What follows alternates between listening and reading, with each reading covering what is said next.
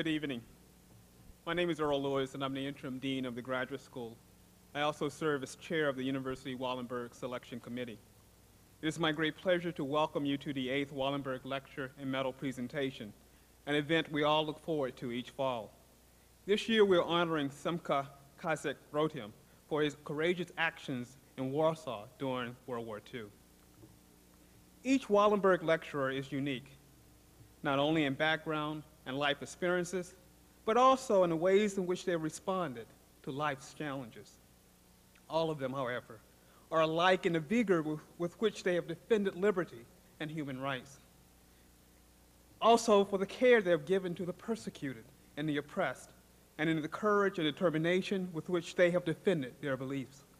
Selecting Simcha Rotem as the 1997 lecturer and medalist upholds the very high standard expected of the Wallenberg lecture. Lecture. We're, also, we're honored to have him with us this evening. On this, the occasion of our eighth lecture, we would also like to recognize the contribution of two people in, in, uh, to the Wallenberg lecture and its efforts. My colleague, Professor Irene Butter, will speak in more detail about their involvement, but I would like to comment briefly on the importance of their contributions from my own perspective. Creating an endowment, especially one that would support an annual lecture and medal presentation, is not an endeavor for the faint of heart. Jamie Beth Catlin, however, has always been inspired by challenges, never deterred by them. It is in great measure due to her persistent efforts and steadfast determination that the Wallenberg Lecture and Medal presentation not only came into existence, but flourished from the very beginning. We owe a great deal of that to Jamie's dedication. I would also like to recognize the contributions of Susan Lipschutz to the Wallenberg Lecture. Her death in April of this year has left us bereft of a wonderful friend and colleague. During her tenure as Senior Associate Dean in the graduate school, Susan chaired the Wallenberg Committee and was responsible for ensuring that the lecture and medal presentation was successfully launched and that the standard of excellence established with the first lecture, which featured Elie Wiesel, would be maintained for all subsequent ones. The diligence and care with which she supervised the Wallenberg endowment and lectureship was characteristic of the approach Susan took toward everything she did. In my mind's eye, I can still see her with her quiet dignity and firm sense of right and wrong. She will be missed, but forever remembered this fall and every fall for the ample work she put into making sure this lecture and medal presentation thrived. As many of you know, the University Wallenberg Endowment also provides for the support of an outstanding graduate student who assists the committee with, with the presentation and preparation of the fall lecture. I would like to introduce you to this year's fellow, Ms. Erica Lair, a doctoral student in the Department of Anthropology. Erica? Stand up.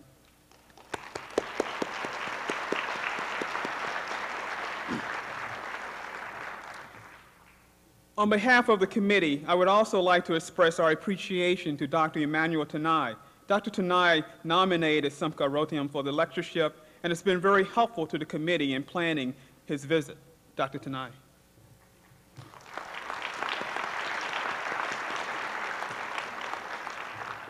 And now, I would like to present to you my distinguished colleague, Professor Emerita Irene Butter, a long-standing member of the Wallenberg Committee and a pivotal figure in her own right. She has done more to, and done, sorry, she has done much, perhaps even more than many, to ensure continued success of the Wallenberg Lecture and all that it represents. Ladies and gentlemen, Professor Butter.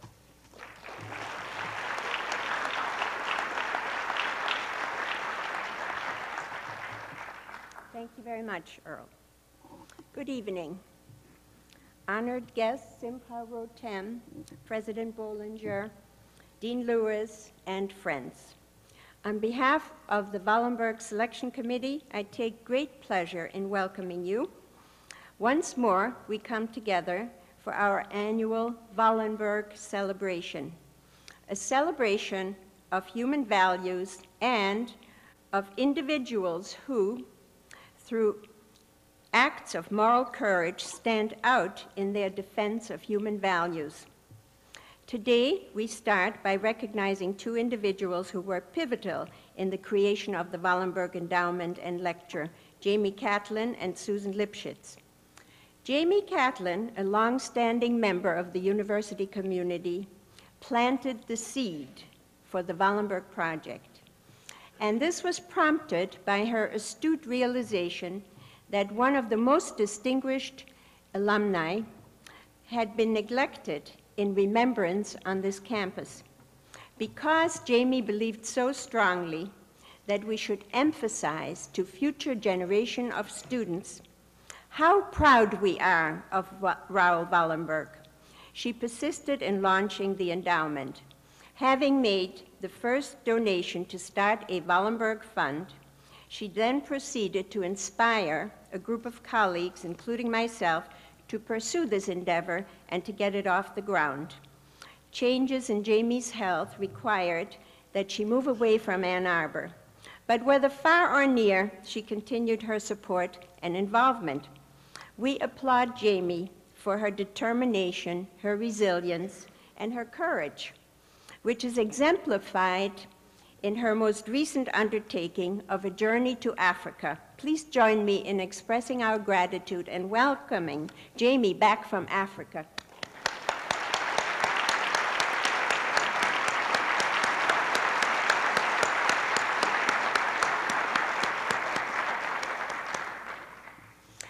After Jamie had planted the seed, Susan Lipschutz saw to it that the project flourished. As Associate Dean of the Rackham School of Graduate Studies, she created a home for the Wallenberg Endowment and Lectureship and left an inedible, in, I'm sorry, indelible imprint on it. Susan fought for its place and stature. She gave it its distinguished shape and form, and she nurtured it to attract eminent speakers. When Susan moved to the provost's office, it became immediately apparent how critical she was to the continued blossoming of the project. She continued to serve as a member of the Wallenberg Selection Committee, and her illness never stood in the way of her selfless dedication. Her infinite wisdom and diplomacy enabled her to achieve things within the university structure that no one else could have accomplished. On behalf of the University Wallenberg Selection Committee, we honor Susan for her integrity, her wisdom, and for everything that she gave to the Wallenberg Project. Susan would be so pleased to know that the Wallenberg Lecture continues to reflect humanity in its highest plane. Our speaker today is a remarkable addition to previous Wallenberg medalists. As you know, each of the speakers have reflected the beauty of the human spirit in their own unique way.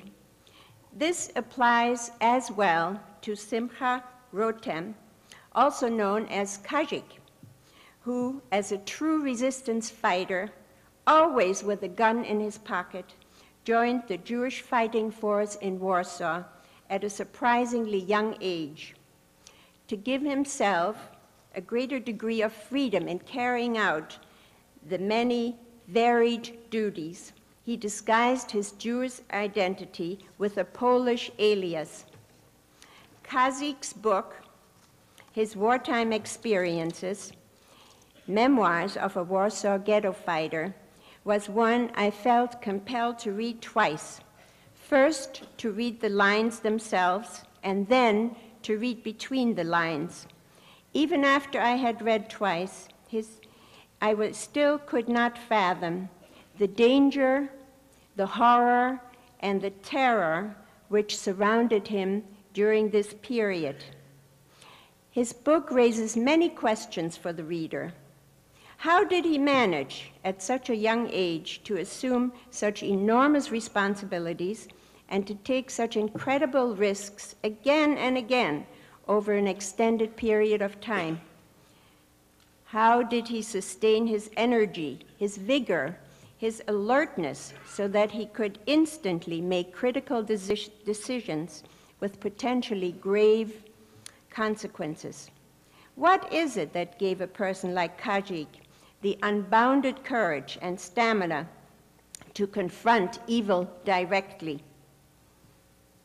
Perhaps you will agree at the end of the evening that Kazik's uniqueness stems from the successful way in which he achieved balance between saving the lives of others and assuring his own survival. Considering that the majority of his comrades were killed in confrontations with the Nazis, and considering the dangers with which he was surrounded constantly, we are extremely grateful, not just for his survival 50 years ago and thereafter, but also for his willingness to travel all the way from Jerusalem to share his war, wartime experiences with us. Now, before we turn to Kazik, each year on this occasion we pay tribute, validate, and reaffirm the courageous and heroic leadership of Raoul Wallenberg. As part of this tribute, the Wallenberg story is retold as a bridge to the medalist whose own humanitarian contributions are recognized today. Raoul Wallenberg was born in 1912 into one of Sweden's most prominent families, whose members included, besides bankers and financiers, bishops and diplomats, and artists and professors. Gustav Wallenberg, in the role of guardian to his fatherless grandson, because Raoul's father died before Raoul was born, chose, the grandfather chose the University of Michigan over Harvard for Raoul's advanced education. This, this choice was based on the grandfather's conviction that an institution with a diverse student population and opportunities to mingle with students from different walks of life constitute the richest type of environment for learning. Accordingly, Wallenberg arrived here in 1931 to study architecture on this campus and in 1935 he completed his undergraduate degree with honors. After graduation, Wallenberg returned to Sweden to pursue a career in banking, with employment in different parts of the world, including South Africa, Palestine, and several European countries. His first exposure to na Nazi atrocities committed against the Jews took place in Haifa.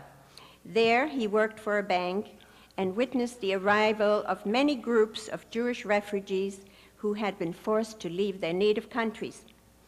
A few years later, he became a partner of a Hungarian Jew in a trading company. And this position entailed considerable travel within Europe, at which time he also encountered uprooted Jewish families. Wallenberg's wartime experiences, his citizenship of a neutral country, whatever that means these days, his family background, and other personal attributes qualified him to be appointed as a Swedish diplomat. In 1944, he was recruited by the American Refugee Board for a special assignment, namely to protect from execution the only substantial Jewish population still preserved in Europe, and these were the Jews in Budapest. During a brief six months period, from July 44 to January 1945, Wallenberg made his mark on history, concentrating on the rescue of tens of thousands of Jews from Nazi execution. He acted with boldness, persistence, and enormous courage. His innovative tactics included devising false protective passports called Schutzpässe and arranging for safe houses, which were Swedish properties designated as shelters for the Jews. Furthermore, Wallenberg is said to have performed his rescue operation almost single-handedly, thus providing a supreme example that no matter how formidable the odds, one person can make a difference. Wallenberg's example over 50 years ago is still relevant today. One person can make a difference in the struggle for a better world, and this is why Wallenberg is celebrated and his story is retold on this campus each year. Wallenberg's example symbolizes defiance in exposing tyranny, fortitude in defense of justice and human dignity, courage in a world trembling with fear, and steadfastness when the majority was apathetic and silent. It is gratifying to think that during Wallenberg's formative undergraduate years, this university helped shape the foundation of the monumental acts which followed, and thus we regard Wallenberg as a lasting inspiration to each of us that we too can be that one person who makes a difference in building a better world. And I will now turn over the program to the president of the university, President Bollinger, who will introduce the speaker and present the medal. Thank you.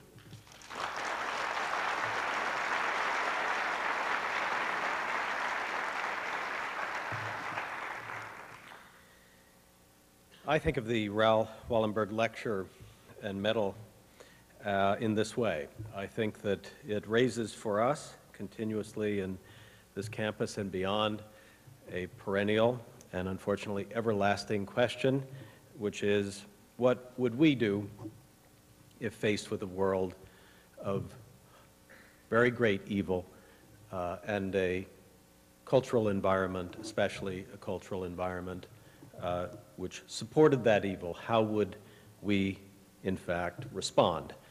Uh, one of the great, and as I say, unfortunately, enduring questions uh, of human existence. And it does seem to me the only right answer to give to that for most of us is, I just don't know. I hope that I would be able to respond in the same, in the right way. It is a great honor for me to introduce uh, this year's Wallenberg lecturer and winner of the Raoul Wallenberg Medal, Simcha Kazik Rotem. Born in Poland, Kazik was 15 years old in 1939 when he watched the Germans enter Warsaw. He fought in the Warsaw Ghetto Uprising of 1943, defying the Nazis for almost a month. When the battle was lost, he helped lead the few surviving Jews out of the ruins of the ghetto to the Aryan side of Warsaw through the underground sewer canal system and then into the countryside.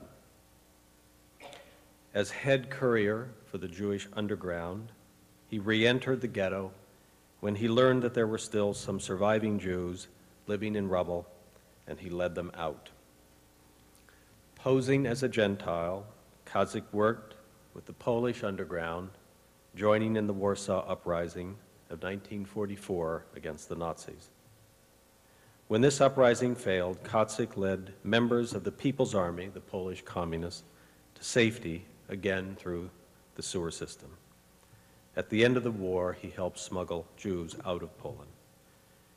Kazik has lived in Israel since 1946. In 1985, he was filmed speaking about his experiences in Claude Lanzmann's Holocaust documentary, Shoah. Now retired, he is the former president and CEO of a chain of Israeli supermarkets. He is the author of members, Memoirs of a Warsaw Ghetto Fighter, The Past Within Me, published in Hebrew and Polish, and in 1994 in English by the Yale University Press. The Wallenberg Medal honors those who exemplify the motto, one person can make a difference. But as I said, for me at least, the question is how would one respond in a situation of great evil? As I say, for most of us, I believe the answer is we don't know, but hope that we would respond correctly. Kazik is able to answer that question in a way that all of us, I think, wish that we could.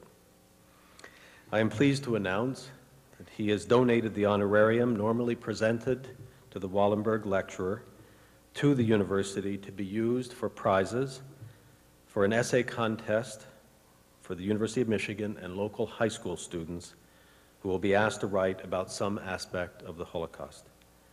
The details of this will be announced next year.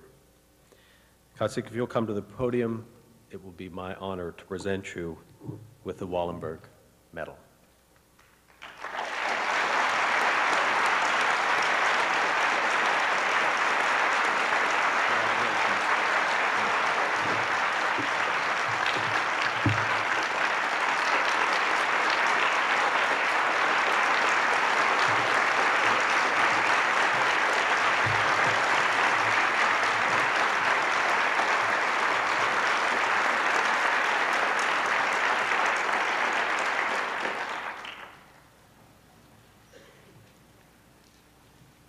Thank you, President Bollinger, Professor Butter, Dean Lewis. I would like to begin with a few personal remarks. One, you must excuse my English and even worse, my pronunciation. I am not a professional lecturer.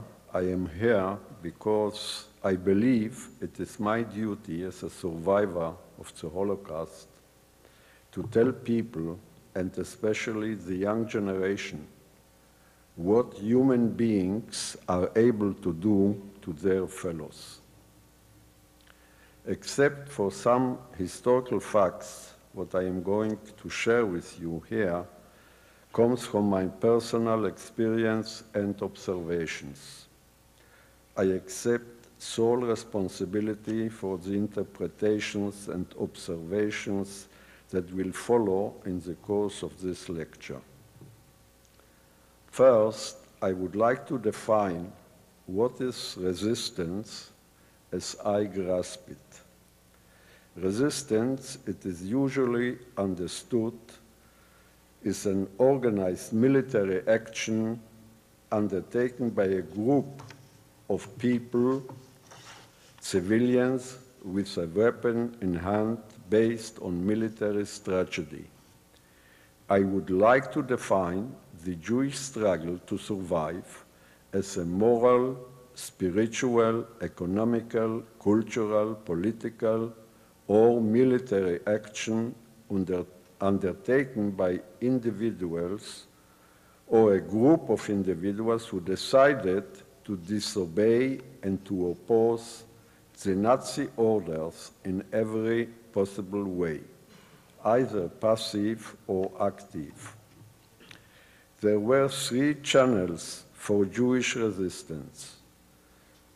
One, the uprisings in the ghettos, revolt took place in the following places in the Warsaw Ghetto, Bialystok, Kraków, Vilna, Kovno, Minsk, Będzin, Częstochowa, and Sosnowiec. There were also revolts in at least eight other small towns. In Warsaw Ghetto, two separate revolts took place. The first one on January 18, 1943, and the second on April 19, 1943. The partisan war in the forest of Poland and two uprisings in the extermination camps, Auschwitz and Treblinka. Allow me to say immediately, I doubt that human beings other than the Holocaust survivors can understand clearly the unique and impossible situation which we, the Jews, found ourselves during the occupation of Europe by the Germans.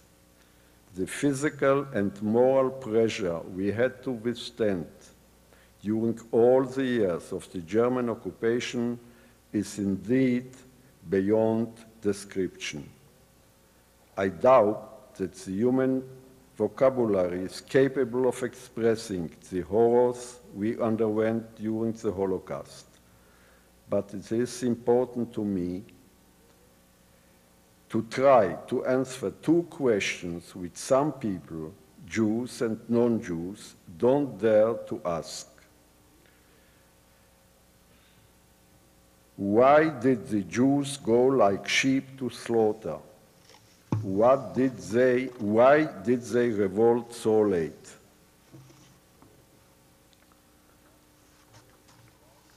Before I answer these questions, the speed with which the Germans conquered Poland must be understood. With the German attack on Poland in September 1939, the Second World War began. The Germans conquered Poland in only four weeks. They took over one European country after another until the victorious armies reached Moscow. I am mentioning these facts because of their importance for understanding the events which took place later. At the end of September 1939, I was in the street with many others in Warsaw, watching the Germans entering Poland's capital. My first contact with the Germans made me terrified. I had a strong, unexplainable feeling of an impending disaster. The following day, the discriminatory attitude of the Germans against the Jews as opposed to the Polish people was obvious. They captured Jews for work and insulted, abused religious Jews. They cut beards and earlocks and forced them to put on tefillin while the onlooking crowd laughed. Paul soon realized that a distinction was being made between them and the Jews. Much like many pogroms of the past, this distinction must have brought them some measure of relief and reassurance. Little by little, life in Warsaw stabilized. The shops opened, transportation began to operate, and the impression was that everything was returning to normal. But this was an, an illusion. Soon the prohibitions began for the Jews. One of the first prohibitions was the segregation of Jews in the public transportation system. Jews were marked by an armband with the Star of David. Eventually, the Jews were forced to move to a designated location at a specific date. And so the ghetto was established.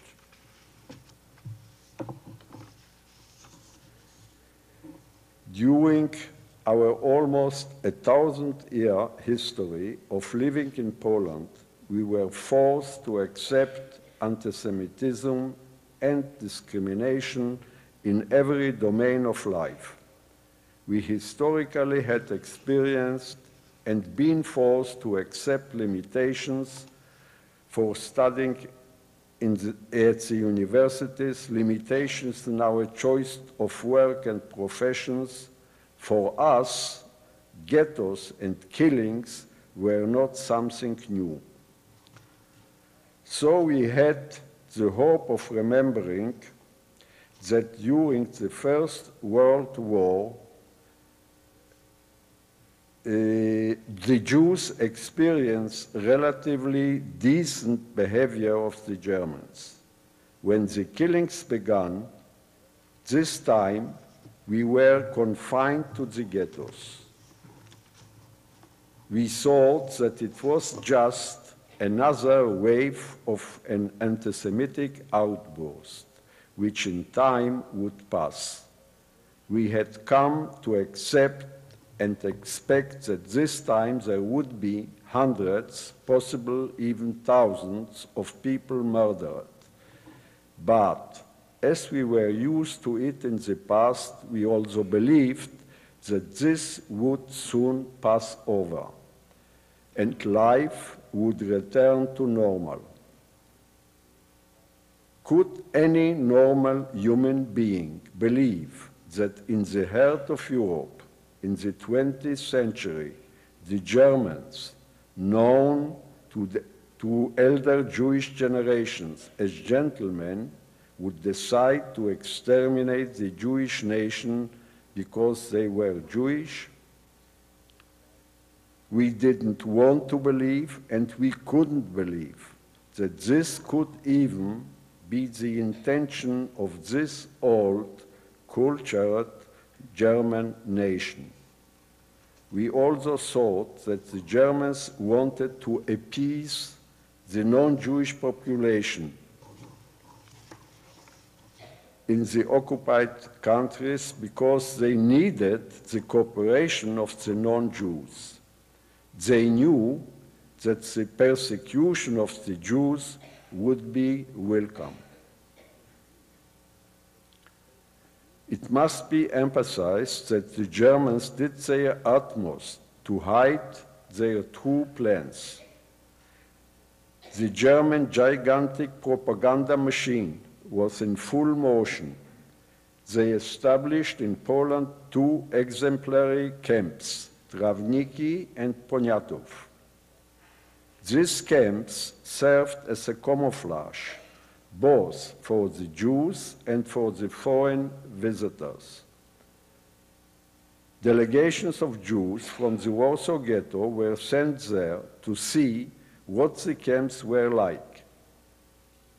Indeed, upon their return to the ghetto, they confirmed that although it wasn't a first class hotel, people worked and the conditions and the food were reasonable. The propaganda machine did everything possible to hide the true intentions concerning the Jews. There was also the death penalty for informing, helping, or hiding Jews.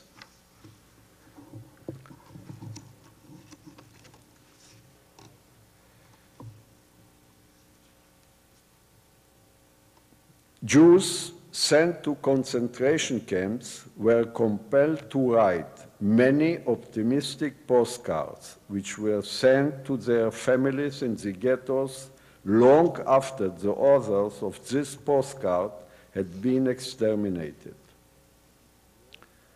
I will speak mainly about the Warsaw Ghetto because I was there and saw with my own eyes the daily atrocities.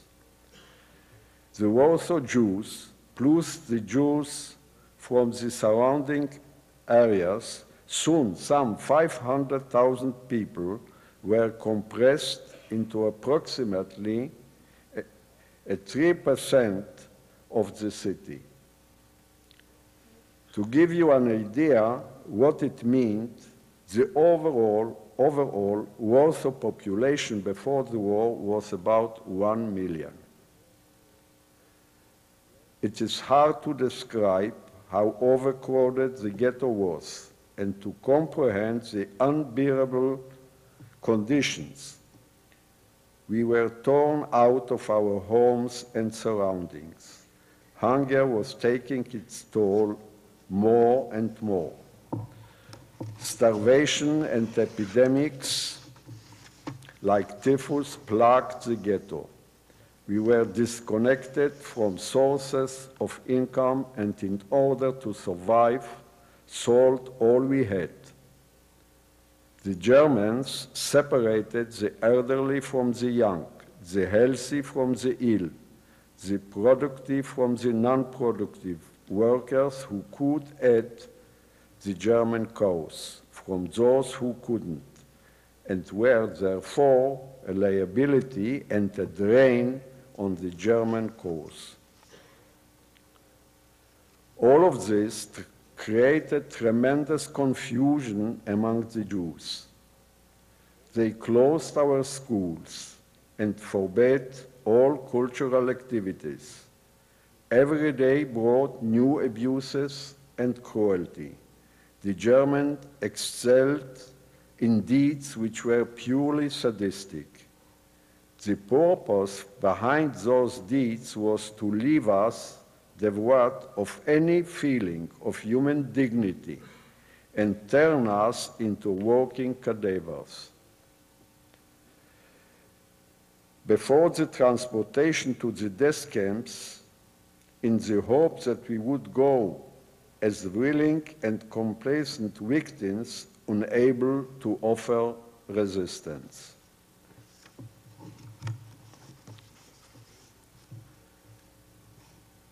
The plan, of, uh, the plan of extermination consisted of two stages. The first stage was the concentration of the Jews in ghettos, the breaking of their spirit and their will of resistance.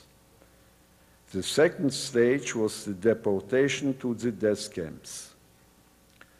The Jewish resistance in the Warsaw Ghetto began with civil disobedience.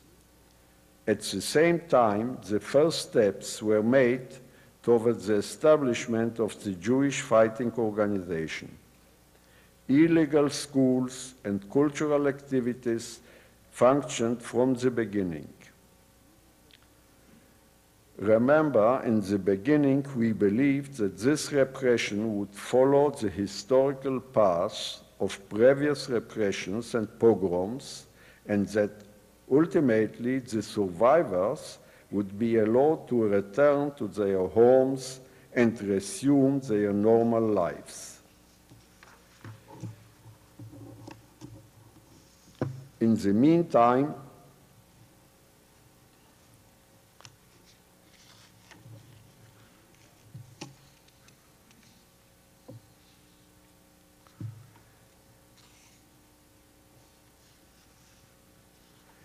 the smuggle began, and the, there were smuggled in bread and potatoes mainly, although never enough to prevent hunger.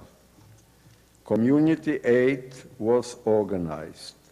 During the first year of life in the ghetto, everyone tried to survive in spite of very difficult conditions. Small children and youngsters were especially helpful. They endangered their lives on a daily basis in their attempts to smuggle food into the ghetto through holes made in the wall, which was built to cut us off from the outside world. Those children would escape to the Aryan side and sell various personal belongings that we still had. These few precious belongings were traded for bread and potatoes. Whenever caught by the Germans, these courageous and unsung heroes were shot on the spot. This was the general background preceding the first massive deportation in July 1942. The Germans promised six pounds of bread and some jam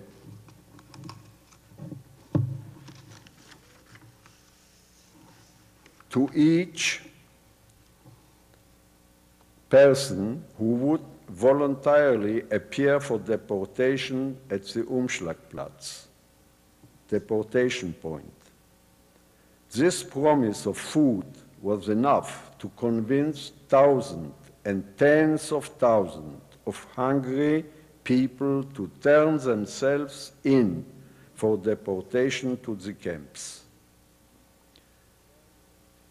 I am not sure that you can understand what real hunger during a long period of time can do to a human being. With time, we succeeded in sending an emissary to observe one of the transports. The man returned and reported that he saw the train going into the camp and after a short time leaving empty. He couldn't see anymore, but the smell of burnt human flesh taught him the unbearable truth. Some of the peasant, peasants living close to the camp confirmed his suspicions. more than 300,000 Jews were sent to and exterminated in Treblinka. Even after this deportation, most of the population did not believe that the Germans planned to annihilate the Jews. But at this stage, we decided to revolt in spite of the fact that we did not possess the basic conditions needed to stage a revolt. We didn't have weapons, military trained fighters, friendly land base from which we could prepare and organize an uprising. The sort of fighting in the ghetto was totally unrealistic and contrary to everything the word ghetto represents.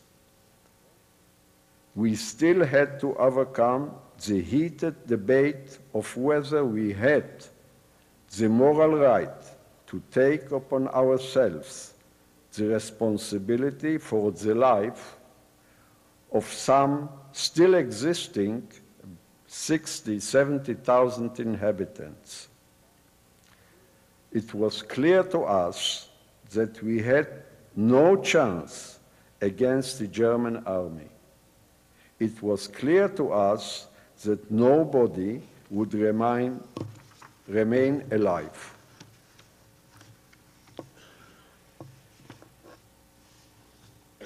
It was only a question of how we should die, we would die.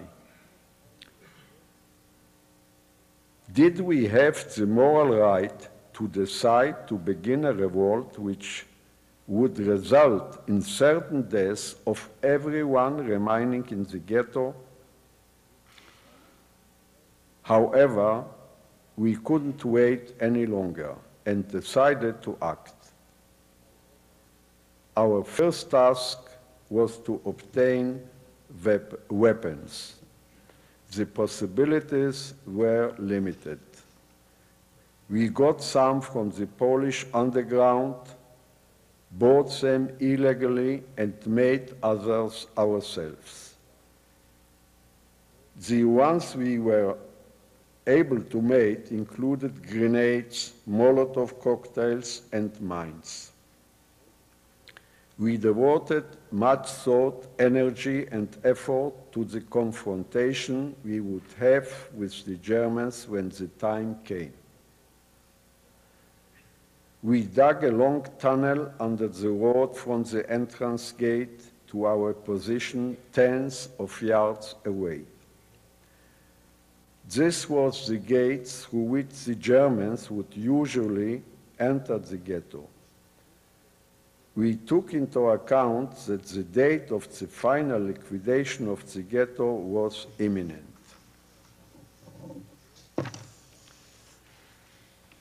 We worked very hard to dig this tunnel because we lacked the proper equipment and needed to remove the gravel slowly in order not to attract attention. When we finished, we prepared a surprise for the Germans. A bomb which could be activated from afar at a chosen time. On April 19, at 4 a.m., we saw hundreds of German soldiers entering through the ghetto gate. There were many tanks, armored vehicles, light artillery, artillery and Waffen-SS on motorcycles. But we did not lose our spirit. Finally, the time came to settle the account. After a few days of heavy fighting inside the ghetto, which resulted in many German dead, the Germans changed their tactics and began to destroy the ghetto from the outside. They used flamethrowers, artillery, and air attacks. Finally, sappers were sent to set fires and explode every cellar and bunker. In this terrible situation, we had no delusions about the future of the burning ghetto and about the outcome of the fight. On April 29, our command staff decided to find a way to rescue the remaining fighters. I would like to point out that during the preparations for the uprising, no thought was given to the possibility of retreat. We didn't believe that any of us would remain alive. Several attempts were made to send emissaries to the Aryan side in order to contact a liaison with the Polish underground. All the attempts failed. At the end of April, it was decided to try again. A friend and I were chosen for the mission. We used a tunnel which led out of the ghetto. We found it by chance when looking for a way out. We assembled a few items we might need on the Aryan side. We did not have any identity papers. We said goodbye, descended into the tunnel, and there we were on the Aryan side.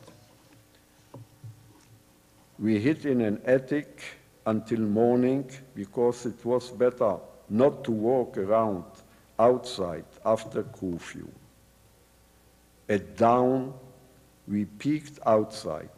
All of a sudden, a pole appeared in one of the doorways. I spontaneously made up a story.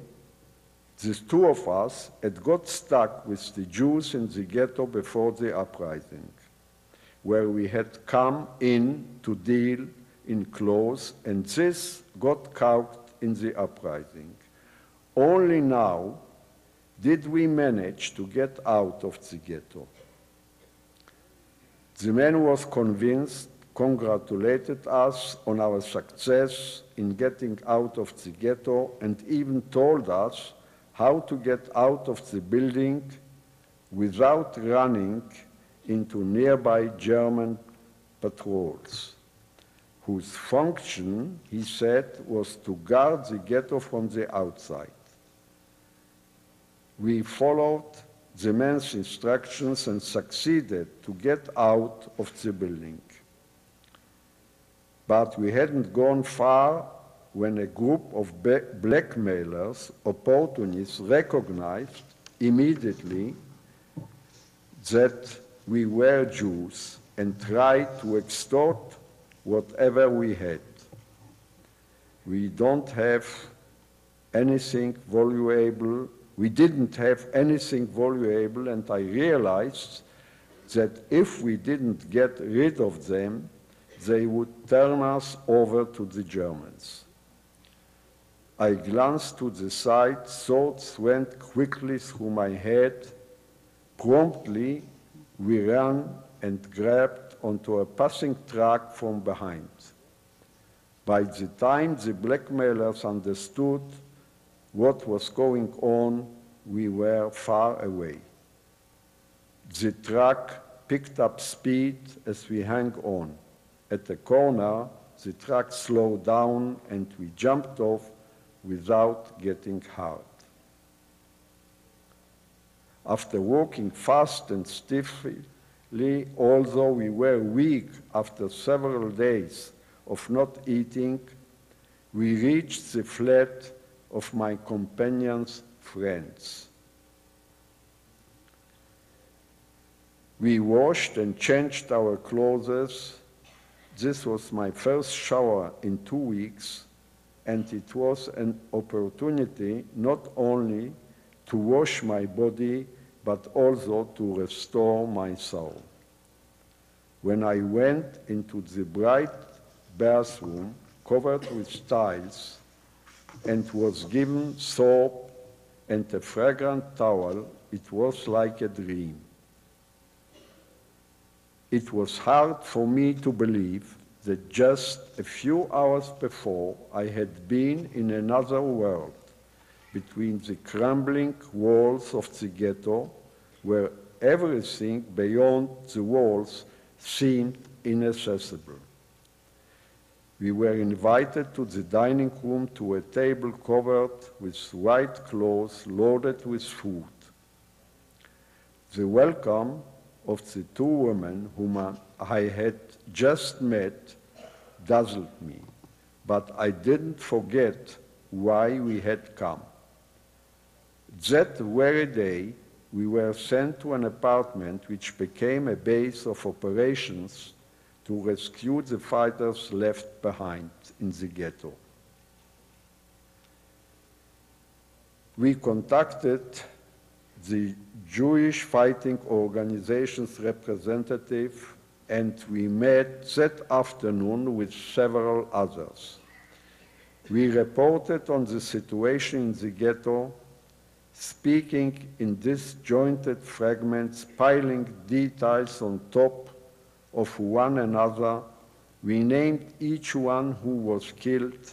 We described the deployment of the fighting groups, told of the systematic destruction, the hopelessness of the situation. We focused our discussion on saving our companions. In my simplicity, I thought there would be an immediate solution. But it was soon apparent that nobody was standing around waiting for us on the Aryan side. And that we would have to do everything by ourselves. I believe there were some people, after all, who could help.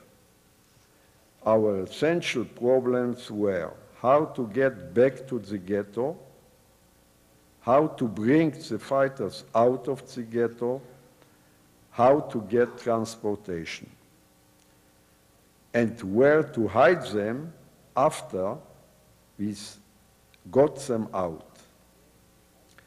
The key to the solution was making contact with sewer workers who could lead us back to the ghetto on a route we could also use to remove those who had survived.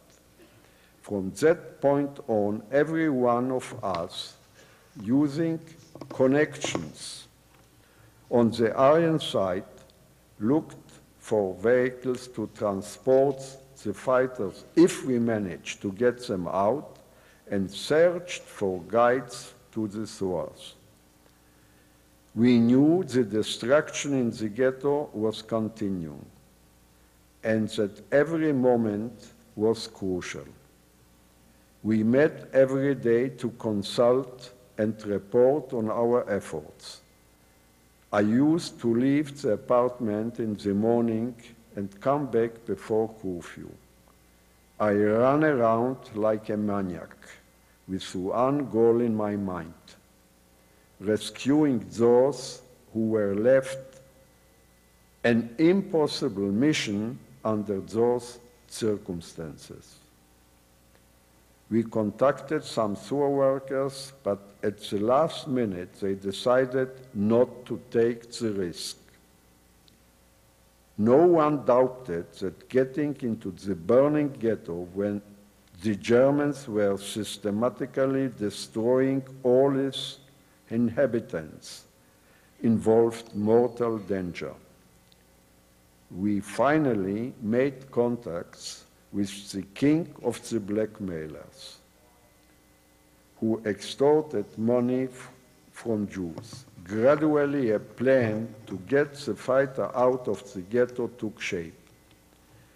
We needed an exit base from where we could descend into the sewers a guide through the sewers, and transportation to take them from the sewer opening to the forest.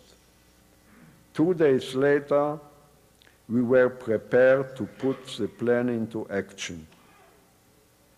The king of blackmailers agreed to help us for a stiff amount of money and with our solemn promise that their help would be inscribed as an act of patriotism in the books of the Polish resistance history. His apartment would serve as the base from which we would go down to the sewers. He wasn't supposed to know we were rescuing Jews. So we concocted the story that a group of Poles had gone into the ghetto before the uprising and got stuck there. That we were acting on behalf of the Polish underground and then and that since we now, now know exactly where the group is, we plan to get them out. On the night of May 7, an advance group went to the ghetto. To our great disappointment, they returned soon after because the sewers were blocked.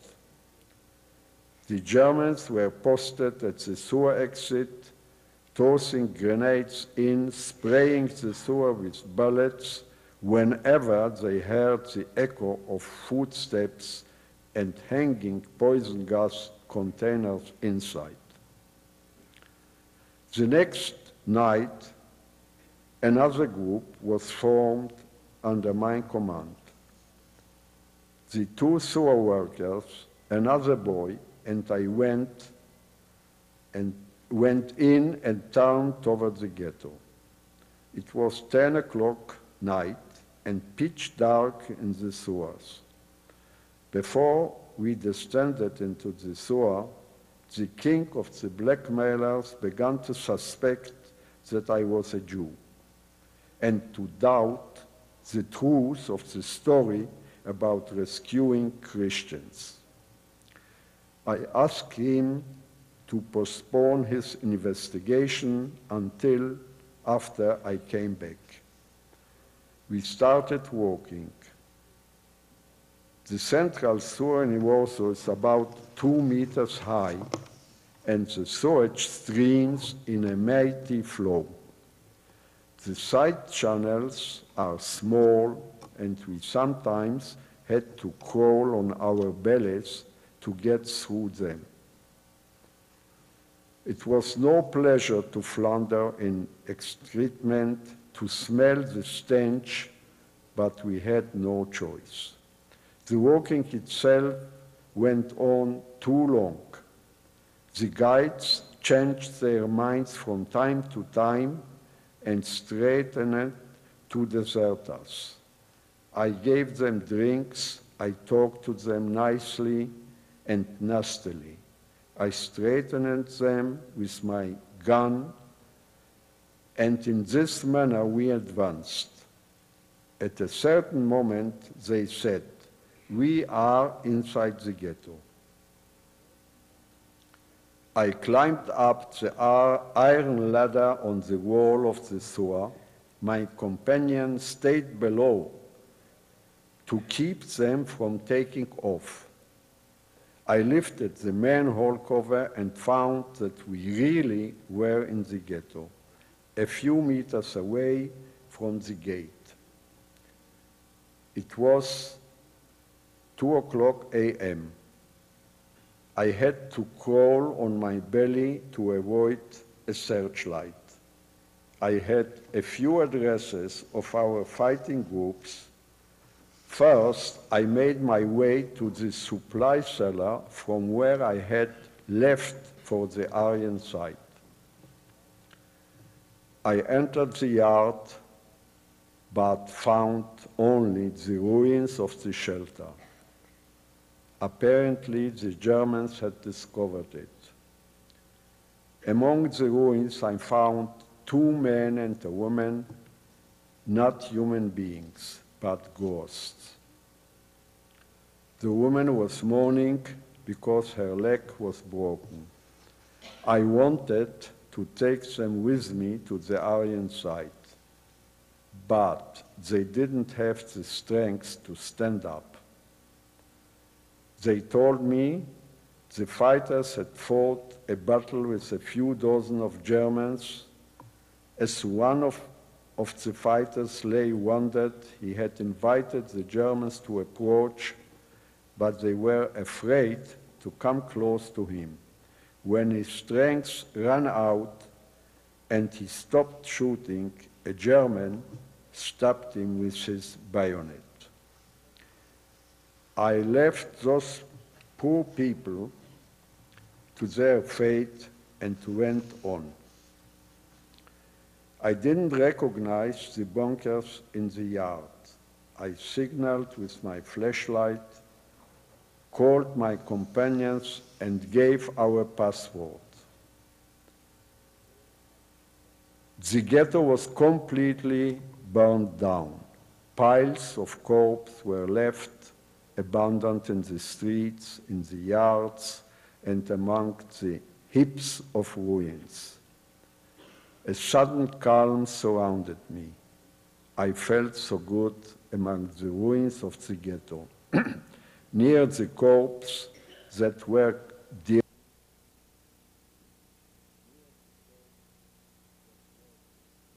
Between sanity and madness, between this world and the next. I had begun to lose all sorts of survival. My only thoughts were of retaliation and revenge. With a sudden effort, I wrenched myself free of thoughts of suicide and decided to return to the sewers. The closer I got to the manhole cover, the brighter were the searchlights in the area because the German position was close to the entrance of the ghetto. I crawled the last part of the way and finally managed to slither into the sewer. I went down and closed the cover. Let's go. There's, there's nobody there. The shout leaped out of my mouth. It wasn't my voice. It wasn't a human voice. It was aimed at my friend and the sewer workers who were waiting for me. We started back.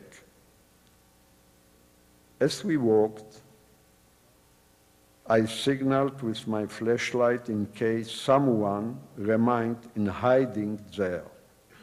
Suddenly, I heard a noise in a side sewer. I thought I could make out a flickering light. Were they Germans or Jews? My nerves were stretched to the limit. My finger caressed the trigger of my gun.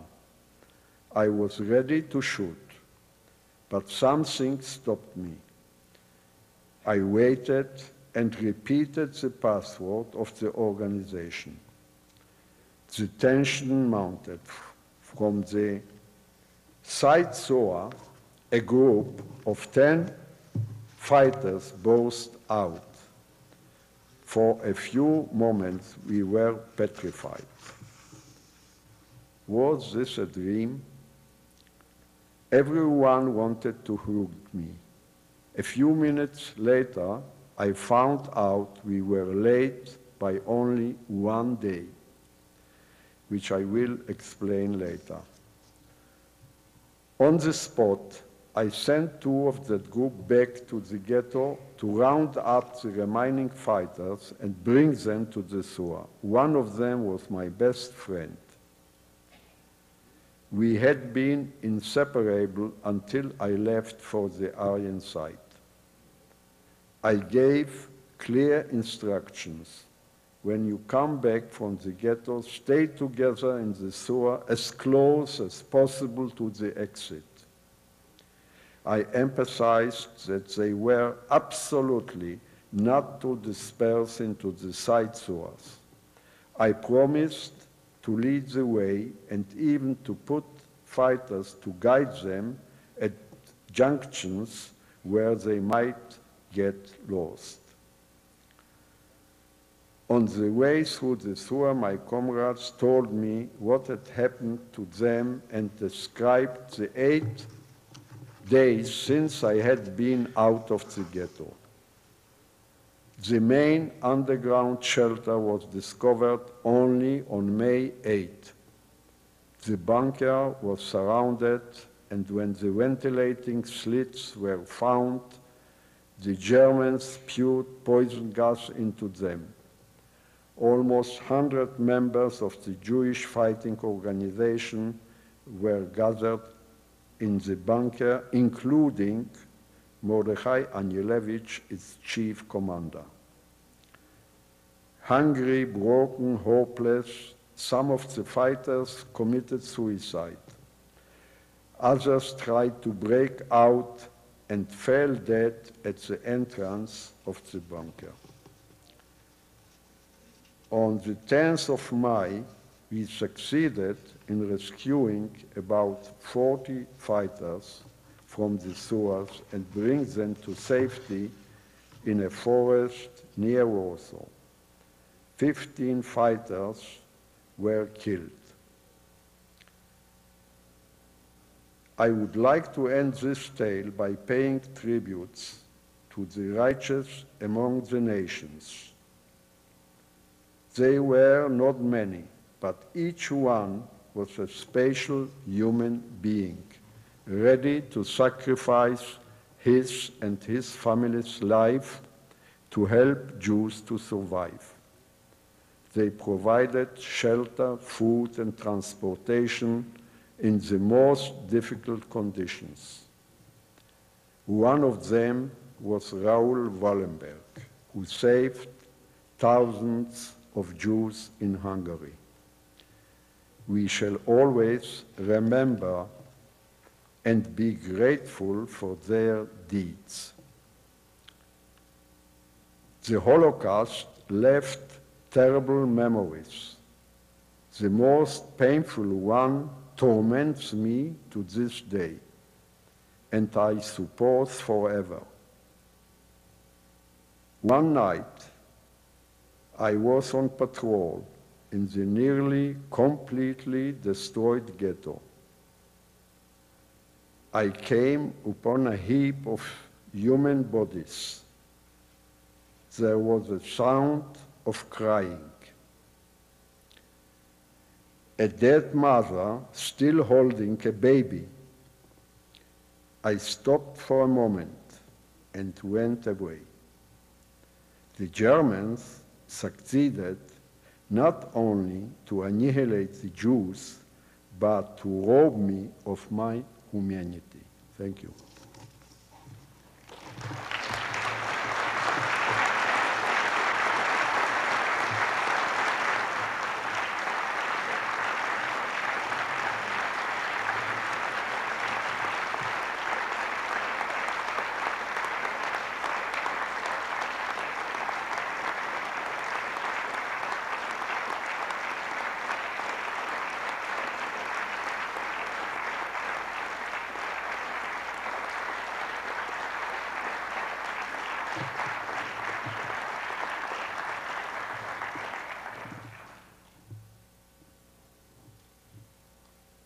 Our speakers agreed to answer a few questions. I would only ask that you be brief. There are mics on either side. There are two mics. Uh, there will be opportunity as well uh, in a reception on the fourth floor in Assembly Hall that will immediately follow to answer other questions. Uh, I also ask that you not only uh, be brief, but be also very succinct in terms of framing a question uh, and recognizing that he is coming uh, here from Israel and is working through two or three languages, uh, trying to understand what it is you want to ask. Are there questions?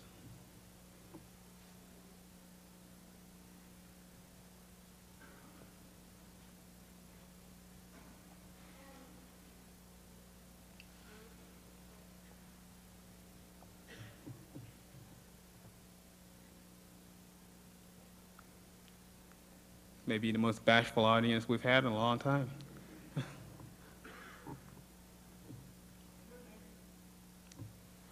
My name? Oh, okay, I'm sorry. Could you come to one of the mics if possible? I, it's hard to see from way in the back. Thank you.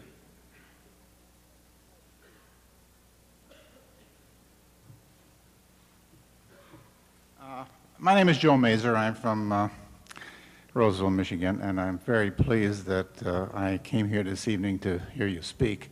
Now, I expect to be going to uh, Poland uh, this coming spring and spend some time in Warsaw, and I would like to know if there are today any uh, memorials or markings or indications of anything to commemorate uh, the, uh, the, the ghetto. Is there anything that I could look, I wouldn't want to say look forward to, but uh, look to uh, see the particular area and the surroundings where all this occurred?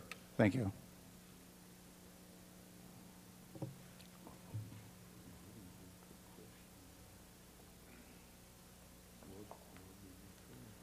He's going to Warsaw, and he wants to know if there are memorials from the ghetto that he can look. Yes, there is a memorial in the city of Warsaw, in a place which was the ghetto, used to be the ghetto. The memorial is made by um, the sculpture Rapoport, dedicated to the ghetto fighters. And there are some places which can be seen, some places there still exist uh, uh, remained a place with the wall which separated us from the Aryan side.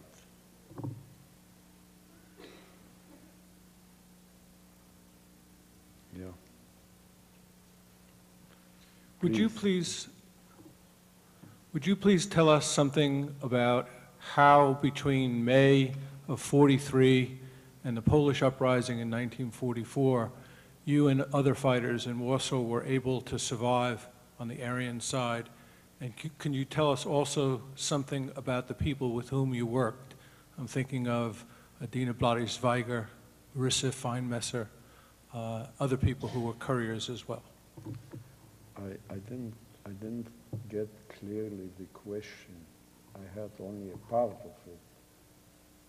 How did we manage? How did you manage to survive in hiding on the Aryan side from the destruction of the ghetto to the Polish uprising? And can you tell us about the other people with whom you worked who were couriers? Uh, Inka, uh, Vladka? Thank you.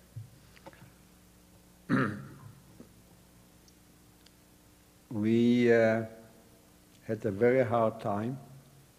It was very dangerous. Many of our people were found in, in the hidden places and they were turned over to the Germans and killed.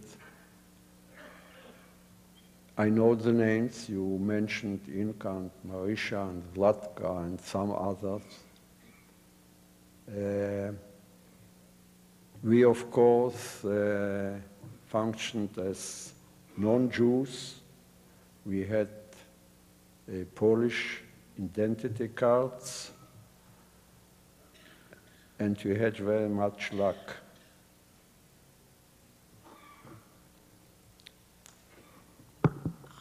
Excuse me, is it true that the streetcars went right through the ghetto and that the, the Warsaw citizens saw, could see everything that was in the ghetto? And also that there was, I had heard that there was a Ferris wheel that went with children up and they could look down and see everything that was in the, in other words, the people knew. Or did, is that true or was that some sort of legend?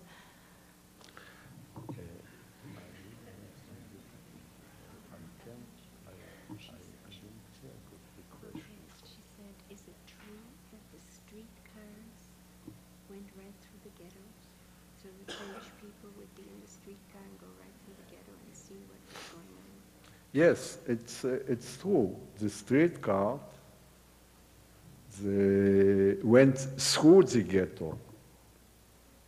It wasn't allowed to stop inside the ghetto because it was, the ghetto was a part of the city. So some places, to reach them, you have to go through the ghetto. And the streetcar was watched over by the Polish police that nobody will uh, got into the from the ghetto and nobody from the streetcar won't stop into the ghetto. That's true, yes.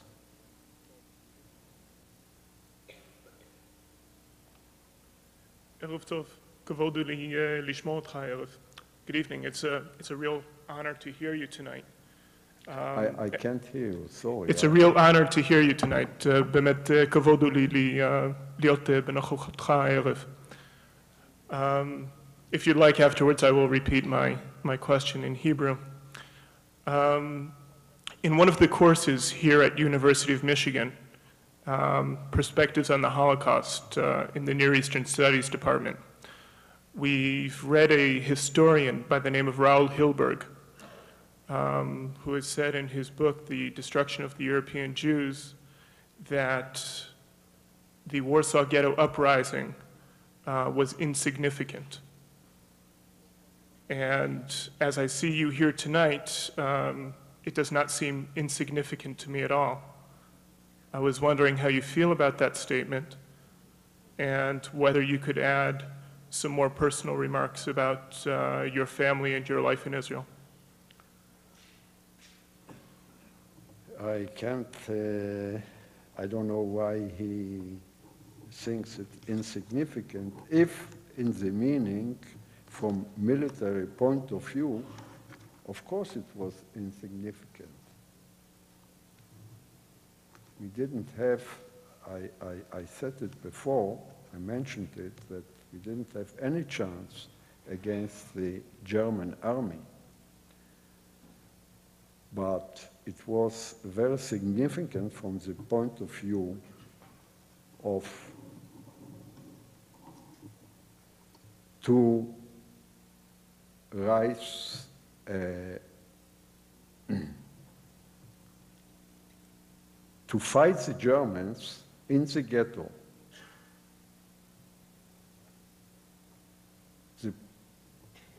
To try at the last moment to choose the way, for us it was very significant, to choose the way how to die. We didn't want to go to the crematorium. We didn't want be taken out again like it was in 1942 when the first uh, action began and at that time the Germans succeeded to take out from the ghetto about 300,000 Jews and, and to the uh, uh, Treblinki.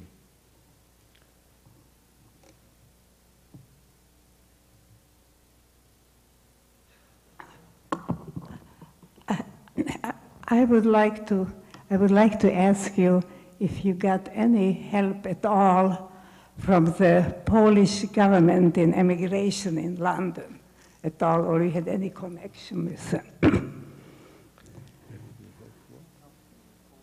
the, the government, the Polish government, there was a Polish government in London, was the emigrant government. Did they help at all any, any of you, any of the Jews? That was a, a Christian government, Poles. We had some help from the Polish underground. Uh, we got from them uh, weapons, a small amount. They were against our uprising for political points of view they didn't want it, and that's why they didn't help us very much. Uh, I don't know uh, if they had some orders from the Polish government in exile. I have no idea. But in Warsaw or in other places, we were helped in a very, very small way.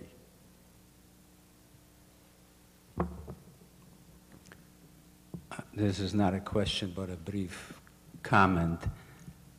I think that the question about significance of the uprising should not obscure the fact that Kazik Rotem is a hero, not because he was a fighter, but because he's a rescuer, and because he survived, and symbolizes the efforts of survivors who managed to stay alive and bear witness to what has happened.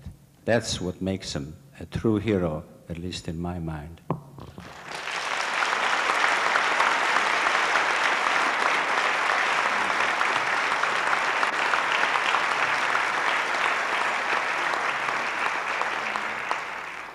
One, one last question. I just wanted to know if any of your family members had survived.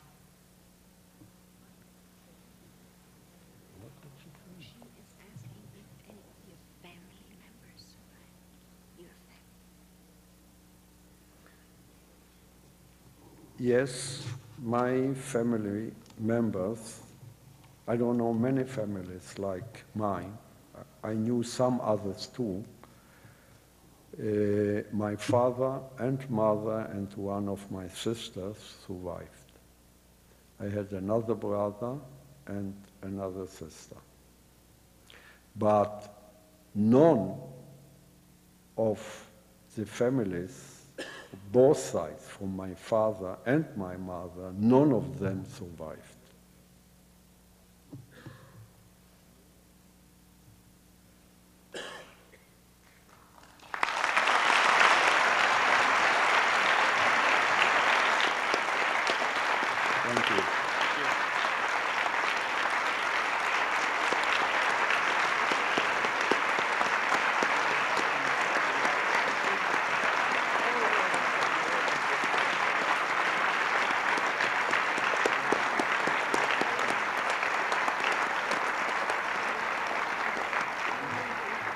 Thank you for your attendance, and please join us on the fourth floor. Good night.